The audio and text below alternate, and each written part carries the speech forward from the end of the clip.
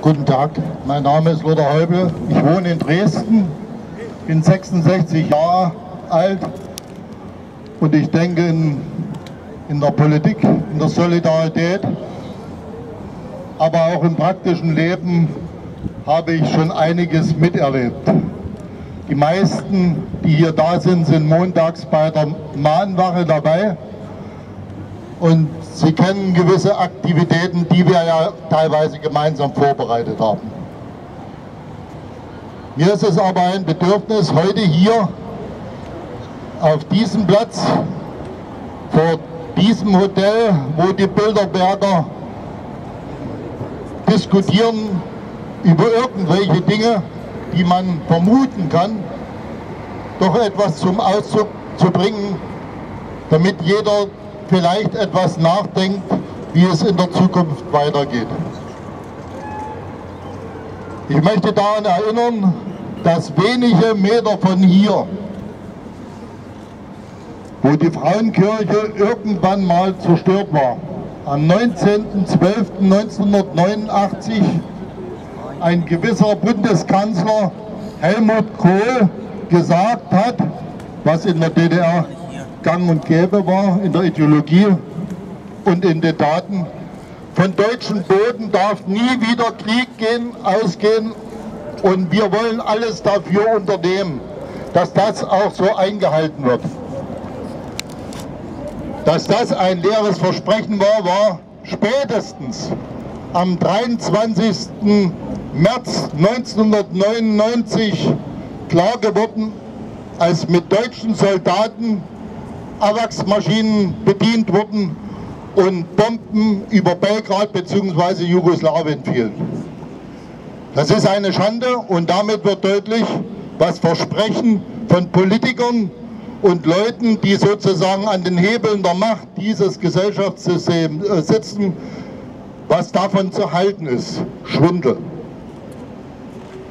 Und ich sage es deshalb auch weiter, weil wir, ich glaube, darüber nachdenken müssen, wenn Bilderberger, also auch diese drei deutschen Persönlichkeiten, ich will mich ja äh, anständig ausdrücken, dort zugegen sind, dann ist es unter anderem eine Kriegsministerin oder wie sagt man das hier in der BRD, eine Kriegsministerin, die mit zu verantworten hat, dass gegenwärtig in Polen oder an den Grenzen von Russland über 35 Soldaten aus allen NATO-Staaten eine Übung durchführen, die dazu dient, Russland gegenüber aufzutreten und zu drohen, wenn ihr nicht so macht, wie wir das wollen in Europa oder in den USA, dann sind wir durchaus in der Lage, auch einen Krieg mit Russland zu führen.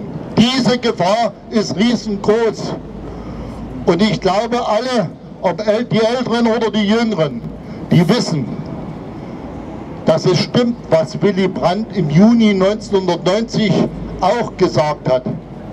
Frieden ist nicht alles, aber ohne Frieden ist alles nichts. Und ich weiß nicht, wie es euch geht, aber wir waren, ihr wisst, die meisten wissen das, wir waren ja vor Jahr zweimal im Donbass. Und es ist schlimm, wenn man sieht, wie ein Flughafen, wie ein Stadion in Donetsk, was mit, auch mit europäischen Mitteln wieder aufgebaut worden ist, wie das mit Rüstungsgütern bzw. Bomben, die aus dem Westen kommen, zerstört worden ist und wie Menschen abgeschlachtet werden, nicht nur im Donbass, sondern genauso auch in Syrien und überall. Und wenn ich das hier anspreche, zu, als Anlass zur Bilderberg-Konferenz, dann sind es diejenigen, die an den Hebeln der Macht sitzen, die das verhindern könnten, dass Mord im Donbass geschieht, dass Mord in Syrien geschieht. Das sind diejenigen, die dafür die Möglichkeit haben, ordentliche Beziehungen zu Russland, zu Syrien und zu anderen Staaten in der Form aufzubauen, dass die Menschen friedlich miteinander leben können. Und um nichts anderes im Moment, um nichts mehr geht es mir. Es geht mir darum, dass die Menschheit in Frieden, in Menschenwürde leben kann, hier in Deutschland und genauso in Europa und in anderen Staaten der Welt. Dafür stehe ich hier und hoffe, dass der Kampf erfolgreich ist. Danke.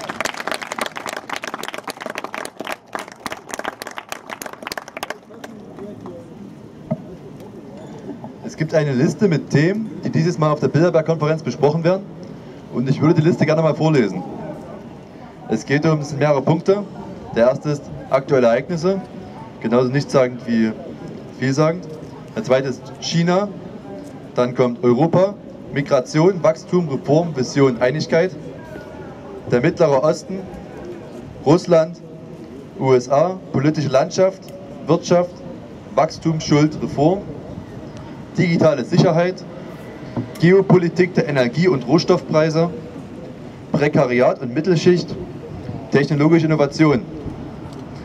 Nun, wir werden wohl nicht erfahren, wie die Themen besprochen werden, weil leider kommt ja nichts nach draußen. Die Medien sind zwar eingeladen, viele Vertreter der Medien, auch der Deutschen, sind seit Jahrzehnten dabei, aber leider versäumen die es zu berichten. Das heißt, wir werden es wohl nicht erfahren. Was wir wissen ist, wie diese Konferenz ablaufen wird, was im Groben passiert. Wir wissen, dass sich unsere Politiker treffen, auch deutsche Politiker, mit den Wirtschaftseliten, mit anderen Eliten, transatlantischen Strukturen.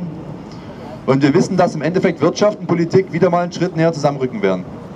Und ich denke, wir haben alle langsam genug davon, dass Wirtschaft und Politik immer näher zusammenrücken. Weil wo rückt denn die Bevölkerung und die Politik wieder zusammen? Ich denke, wir haben alle das Gefühl, dass Politik uns mehr oder weniger immer mehr im Stich lässt. Dass Reformen verbracht werden, dass Politik gemacht wird für die Reichen, für die Mächtigen, für die kapitalstarken Unternehmen und die Menschen im Endeffekt auf der Strecke bleiben werden. Eine allgemeine Theorie, das ist, fragen wir die Volksumfragen, wie die Bevölkerung zu manchen politischen Maßnahmen steht. Genprodukte, Genfood, 80% dagegen. Trotzdem legitimiert die deutsche Bundesregierung erste Versuche mit Genmais. Atomwaffen auf deutschem Boden, 80, 90% dagegen. Trotzdem lagern in Deutschland amerikanische Atombomben. Die Bundeswehr in Afghanistan. Ich glaube, wir hatten alle mitbekommen, dass wir das nicht gut finden, dass es viele nicht okay finden. Wer verteidigt das eigentlich noch? Sind es wir oder sind es die großen Medien, die Interesse haben, die Anteilseigner haben, die Anzeigen schalten von Rüstungsfirmen, die teilweise komplett der Hand sind von Rüstungsfirmen? Und die Bundeswehr ist mittlerweile wieder aktiv in 19 Ländern. Die Bundeswehr ist keine Verteidigungsarmee mehr, sie ist eine Interventionsarmee. Aber für wen? 19 Länder. Von Deutschland soll kein Krieg ausgehen, unsere Armee ist in 19 Ländern. Wie passt das noch zusammen? Es passt so vieles überhaupt nicht mehr zusammen. Das, was wir wollen, und was uns verkauft wird in unserer Politik, in den Medien, einseitig, eindimensional, ohne Kritik, das passt nicht mehr zusammen. Und jeder, der Kritik äußert, wie auch wir auf die Straße gehen, wird versucht, ein schlechtes Licht zu drücken. Es wird gesagt, ihr habt Fehler. Ja, natürlich haben wir Fehler, wir sind alles Menschen. Es ist völlig okay, Fehler zu haben. Aber wir gehen wenigstens auf die Straße, weil wir sagen, das Große, was hier passiert, die Leute, die das zu entscheiden haben, die haben auch Fehler. Aber mittlerweile sind die Leute, die auf die Fehler hinweisen, werden mehr kritisiert als die eigentlichen Probleme an sich. Und das finde ich eine sehr, eine sehr problematische Tendenz mittlerweile. Kritik wird mundtot gemacht und so kann Demokratie nicht funktionieren.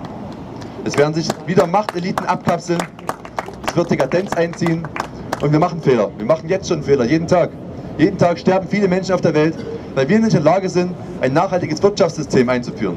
Weil wir nicht in der Lage sind, für wirklich für Menschenrechte oder Gleichberechtigung einzustehen. Nein, wir produzieren Waffen. Wir exportieren Waffen. Deutschland ist der viertgrößte Waffenexporteur. Bundeswehr in 19 Ländern. Es geht um Geopolitik, es geht um den Zugang zu Märkten. Wir alle wissen das. Energiepolitik und Rohstoffpreise. In dem Sinne, ich denke, es ist wichtiger als jemals zuvor, dass wir Menschen aufstehen. Dass wir sagen, wir warten nicht mehr, dass uns jemand rettet, wir retten uns selbst. Es ist höchste Zeit.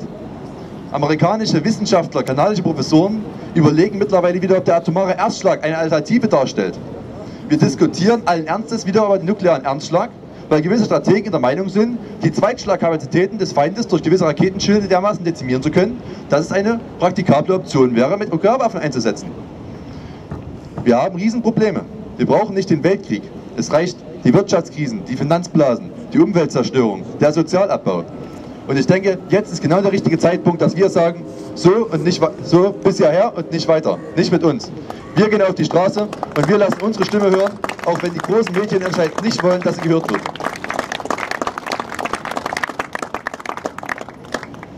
In dem Sinne, ich freue mich riesig, dass wir heute alle hier sind Und ich würde mich freuen, wenn wir heute nicht einfach nach Hause gehen und zu Hause bleiben, sondern dass wir wieder auf die Straße gehen. Keiner hält uns auf. Wir sind in einem demokratischen Land, wir haben Rechte. Wir melden Versammlungen an, wir können hingehen. Es ist kein Problem. Es steht jedem frei. In dem Sinne, wir müssen nicht alle einer Meinung sein, aber wir können doch miteinander reden. Wir können respektvoll und angemessen miteinander umgehen und vielleicht schaffen wir das, was man vielleicht nicht will, dass wir es schaffen, dass wir uns einig werden, dass wir uns aufhören, um Unwichtigkeiten zu zerstreiten und uns klar wird, wo die eigentlichen Probleme liegen.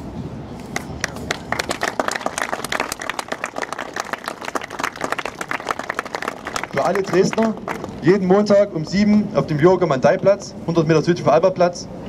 Wir sind auch nicht perfekt, das sage ich gerne. Wir haben unsere Probleme, wir haben Meinungsverschiedenheiten. Aber wir geben uns Mühe, wir versuchen es. Wir wollen die wirklichen Probleme erkennen, die wir uns haben, die uns plagen, die uns praktisch ins Unglück stürzen. Und wir wollen daran arbeiten, wir wollen Alternativen finden. Und ich bin sicher, alle gemeinsam schaffen wir das auch. Und ich möchte auch alle anderen, mich bei allen anderen bedanken, jeden Tag in Deutschland auf die Straße gehen. Es sind viele. Und ich denke, wenn wir miteinander reden, statt gegeneinander, können wir viel mehr erreichen. Vielen Dank.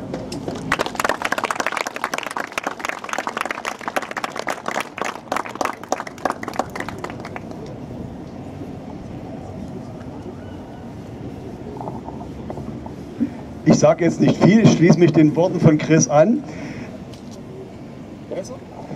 Also ich schließe mich den Worten von Chris an. Man kann sich in Dresden treffen auf der Straße oder in Meißen montags abends 18 Uhr als Mahnwache für Frieden. Das war schon alles.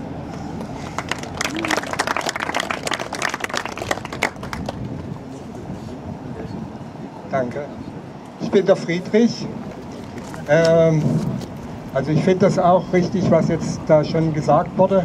Also meiner Meinung nach ist es wirklich am wichtigsten äh, die Gefahr eines, also die Kriegsgefahr, die langsam steigt durch äh, die Aufrüstungsbewegung und durch die Hetze gegen Russland, dass wir die irgendwie in den Griff kriegen müssen. Und das Zweite ist, dass die wachsende Ungleichheit, also diese riesenhaften Einkommen und Vermögen äh, den ärmlichen Verhältnissen der meisten Leute auf der Welt gegenüberstehen. Äh, das müssen wir wirklich beseitigen. Äh, ich finde das nicht richtig, dass diese Konferenz einerseits so wie privat ausgeführt wird, also wie so eben ein, sagen wir mal, ein Stammtisch oder, oder sowas, äh, aber auf der anderen Seite so halb öffentlich äh, nach außen hin stark gezeigt wird. Also die können sich auch in dem Hinterzimmer treffen irgendwo, ohne dass es jemand merkt. Das würde niemand weiter stören, das machen die sowieso. Aber es ist ja Absicht, möglichst Wirbel darum zu machen und es ist Absicht, dass die Leute rätseln sollen, dass sie damit irgendwie sich beschäftigen und vielleicht auch indirekt dann das akzeptieren, dass die Kriegsgefahr steigt und dass man sich daran gewöhnt, an diese Gedanken. Und das müssten wir verhindern. Ähm, es gibt verschiedene Möglichkeiten. Ähm, eine ist diese Kundgebung hier.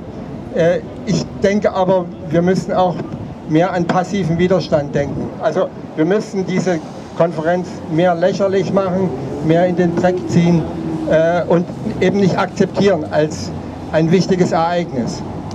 Also, ja, also mein, meine, meiner Meinung nach müssten wir äh, das alles, was da drumherum geschieht, diese, diese Aufregung mit diesen Zäunen und der Polizei und den, und den Sicherheitsbereichen und so, das müssten wir irgendwie konterkarieren. Ich weiß das nicht genau, wie das ist. Ich weiß nur, äh, als es in Indien also darum ging, die Kolonialherrschaft abzuschaffen, äh, da hat man dort auch einen passiven Widerstand organisiert und zum Beispiel in allen wichtigen Bereichen, wo äh, so es auf Schönheit, Vornehmheit und Prachtentfaltung ankam, da hat man dann Dreck hingeschmissen und so. Also man hat sozusagen das eben zerstört, dieses, diese Schau, diese Schau zerstört. Also dass man da eben, weiß nicht, seine, sein, seinen Grasabfälle oder so mitbringt und dann einfach fallen lässt oder sowas. Also ich denke schon, es ist wichtig, sich darüber nachzudenken, aber das jetzt nicht als eine große Aktion, die man natürlich wieder verbieten kann, zu machen, sondern dass jeder für sich sich selbst überlegt, was er da konkret dagegen machen kann.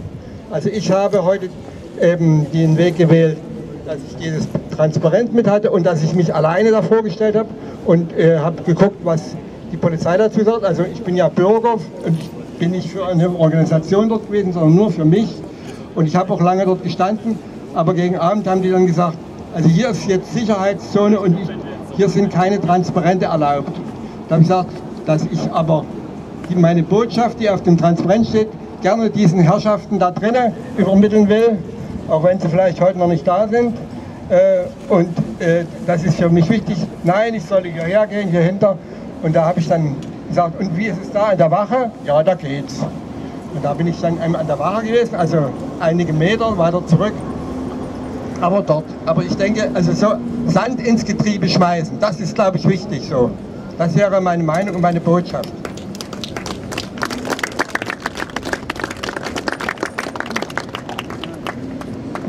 Vielen Dank. Äh, ich möchte noch ein paar Worte zu einem Zusammenhang sagen, weil wir stehen hier in Dresden anlässlich des Bilderberg-Treffens und Dresden ist momentan wegen anderen Dingen primär in den Schlagzeilen.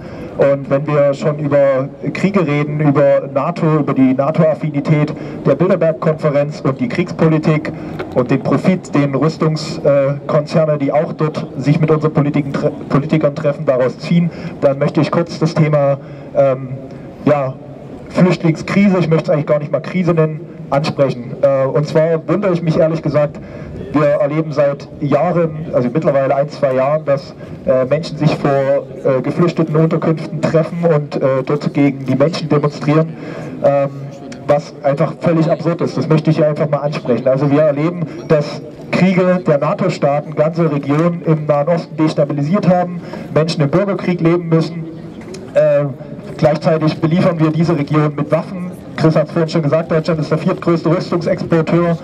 Äh, und wir beuten parallel dazu den globalen Süden enorm aus, was auch Fluchtgründe natürlich immer weiter verschärft. Und ich frage mich, wo bleibt die Debatte über die wirklichen Fluchtursachen momentan? Alle reden von Kapazitätsgrenzen und dies und das, im, also in einem der reichsten Länder der Welt, was ich an sich schon absurd finde. Ähm, dann wird von Pegida noch ordentlich Öl ins Feuer gegossen und ich möchte hier einfach nochmal dazu aufrufen, dass es äh, einfach völlig absurd ist und unsere Forderungen, die wir für heute formuliert haben, in dem Kontext nochmal nennen nämlich an die deutsche Bundesregierung Deutschlands Austritt aus der NATO, da diese kein Verteidigungsbündnis ist, Stopp deutscher Kriegsbeteiligung und das Verbot von Rüstungsexporten, Aufhalten des Umbaus der Bundeswehr von einer Verteidigungs- zu einer Interventionsarmee, was gerade Frau van der Leyen momentan massiv vorantreibt, ein Ende der marktradikalen neoliberalen Wirtschaftspolitik, eine erhebliche Erhöhung von Vermögens- und Erbschaftssteuern zugunsten größerer Ausgaben für Bildung, soziale Sicherung und Entwicklungshilfe, und Maßnahmen zur Bekämpfung von Korruption, Intransparent, äh, Intransparenz und Politik für Reiche. Und ich denke, gerade wir als Gesellschaft müssen uns bewusst sein, dass, wie wir heute schon erläutert haben, äh, wenn die etablierte deutsche Presse die wirklichen Fluchtursachen eben nicht thematisiert, sondern sich lieber daran äh, oder darin ergeht, äh, gesellschaftliche Gruppen irgendwie gegeneinander aufzuhetzen oder äh, Pegida ach so dramatisch zu inszenieren, aber gleichzeitig äh, nicht allzu viele Worte dazu verlieren, wie unser Wirtschaftssystem permanent und kontinuierlich Fluchtgründe erzeugt, wie unsere Rüstungskonzerne von dieser Politik profitieren und wie gleichzeitig die Ungleichheit auch in unserem Land so massiv wächst. Wir haben 5 Billionen private Vermögen, die Staatsschulden liegen bei 2,2 Billionen. Wenn wir einen vernünftigeren Schlüssel erreichen würden, wenn wir eine Umverteilung von oben nach unten schaffen würden, hätten wir Geld für Millionen an Geflüchteten. Und ich finde, das sollte jedem bewusst sein. Und wenn diese Debatte in den äh, etablierten deutschen Medien nicht stattfindet, ist es ganz einfach unsere Aufgabe als Bürger, über so etwas zu reden. Und auch die Bilderberg-Konferenz ist in meinen Augen dazu ein sehr geeigneter Anlass. Und noch äh, eine Sache, wir reden hier so viel über diese Konferenz. Äh, ich glaube, viele von uns sind dazu geneigt, auch mal ein Feindbild aufzubauen. Wie der Chris auch schon gesagt hat, wir sind alle nur Menschen. Ich möchte nur noch mal betonen, dass es nicht unsere Aufgabe ist, Schuldige zu suchen. Das bringt niemanden weiter. Wir brauchen uns auch nicht hinstellen und mit dem Finger einfach nur auf die Bilderberger zu zeigen. Das bringt niemanden weiter. Im Endeffekt müssen wir alle es schaffen, unsere Rolle in diesem System zu reflektieren und daraus Schlüsse ziehen. Und wir alle profitieren davon. Wie gesagt, wir sind eins der reichsten Länder dieser Erde. Und wir alle profitieren von dem Wohlstand. Und wir alle sind mit dafür verantwortlich, dass Leute für diesen Wohlstand bluten, dass Leute für diesen Wohlstand ihre Heimat verlassen müssen. Und deswegen ehe wir uns hinstellen und die Bilderberger als das Böse auf der Welt hinstellen, sollten wir unsere eigene Rolle hinterfragen, sollten gucken, was können wir tun, können wir vielleicht unser, unseren eigenen Stil, äh, Lebensstil gerechter und nachhaltiger gestalten, wie können wir das umsetzen und natürlich nicht zuletzt, wie können wir uns mit anderen vernetzen, um dann auch die großen politischen Themen einer Gesellschaft angehen zu können. Das können wir nicht alleine, das können wir nur gemeinsam. Äh, und dafür ist das heute ein schöner Anfang. Deswegen danke ich euch, dass ihr alle da seid. Das war's von mir.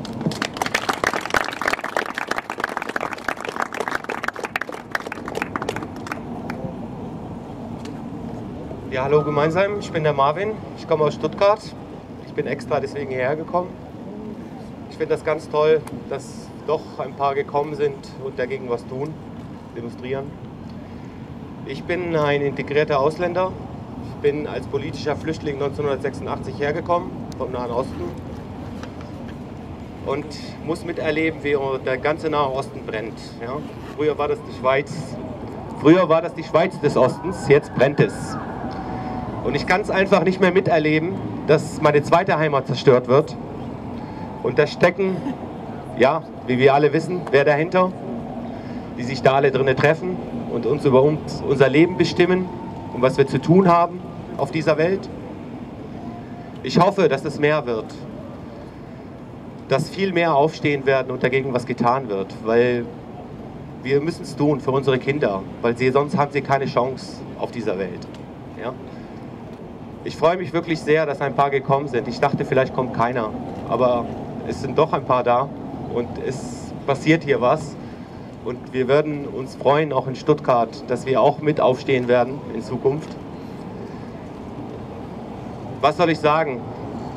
Wir müssen viel mehr sein, aber die Welt wird beherrscht von einer Elite.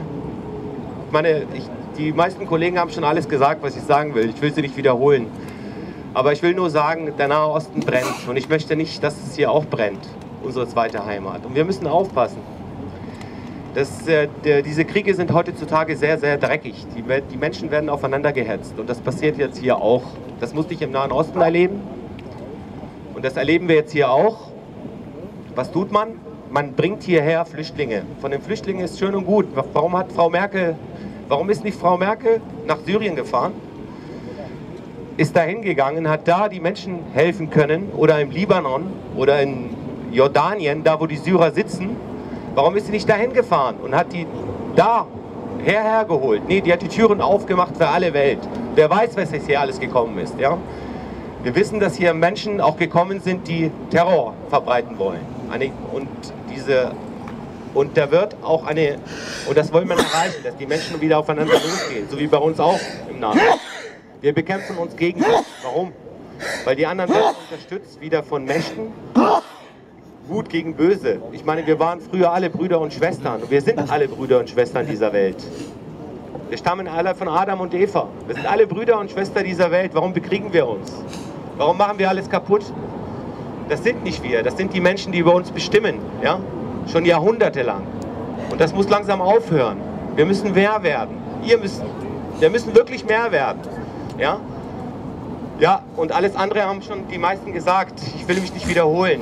Auch äh, politische Stimmen wollte ich hier ansprechen und die sind auch schon gesprochen worden. Also auf jeden Fall bedanke ich mich auf jeden Fall sehr, dass doch ein paar gekommen sind und dass wir in Zukunft mehr erreichen werden. Vielen Dank, dass ihr zugehört habt.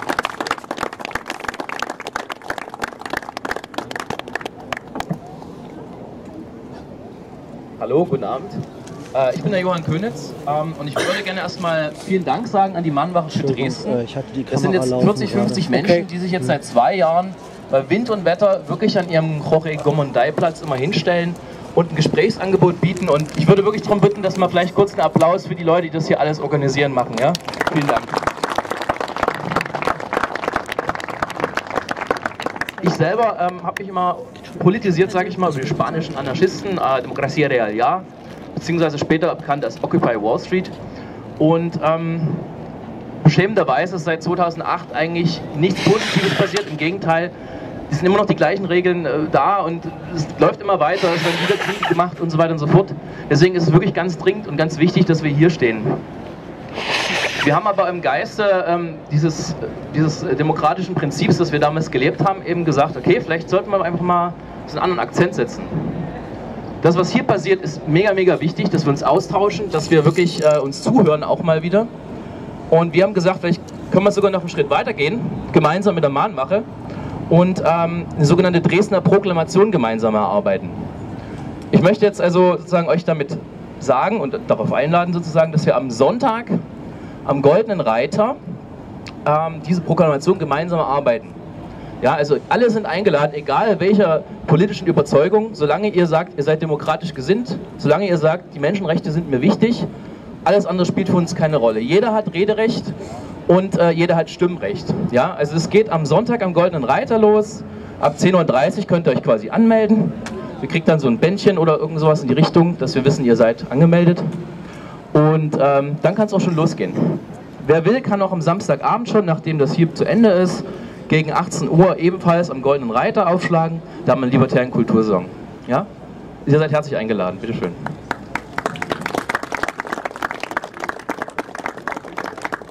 Vielen Dank für die Einladung. Und ich wollte nochmal Danke sagen an alle. Ich finde das super, dass heute so viele da sind. Und ich finde, wir hatten heute einen richtig tollen Tag hier. Und ich möchte Danke sagen an die ganzen friedensbewegten Menschen, die von allen Orten zu uns gekommen sind. Aus Meißen, aus Köln, aus Hamburg, von überall her, aus Stuttgart. Und vielen Dank an euch alle, dass wir heute zusammen hier sein konnten, dass wir in Dresden Signal senden konnten, dass die Menschen eine eigene Meinung haben, dass sie ihren eigenen Kopf machen, Sachen, die passieren und nicht darauf angewiesen sind, dass gewisse Thinktanks oder Medienkartelle vorgefertigte Meinungen vorlegen. Vielen Dank.